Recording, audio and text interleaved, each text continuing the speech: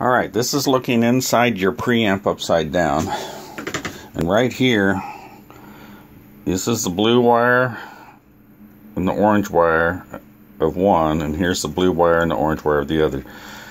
What happens is the B plus voltage comes up on this pin here and is also tied by a little red wire to this pin here. So this is your high voltage and it drops through these two, two resistors for one tube, these two resistors for another. This is your 2.2 meg ohm resistor and this is your 470k.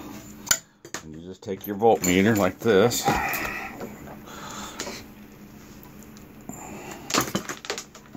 And all you have to do I'm holding the camera, so I'm trying to do this, show you. You're going to measure from here to here, here to the orange, from here, which is where it begins, where the, over to the orange wire. Let me see if I can do this this way.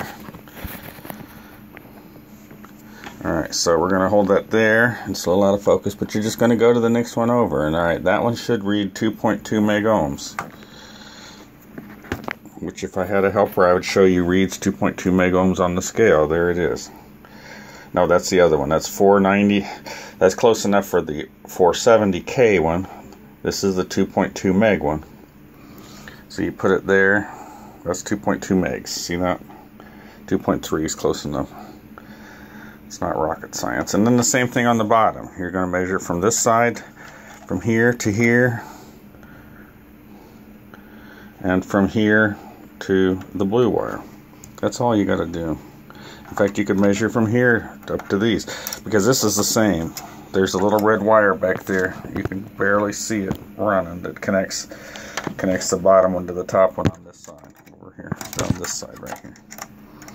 Measure those. One of those will be open, and that's your problem, almost guaranteed. You don't probably have to take the preamp out of the organ to do it. I can usually disconnect the gas pedal linkage and uh, then kind of just get down there and flip it up. I have done it that way. But if you feel more comfortable, just unsolder all the wires, put it on the bench, and do it.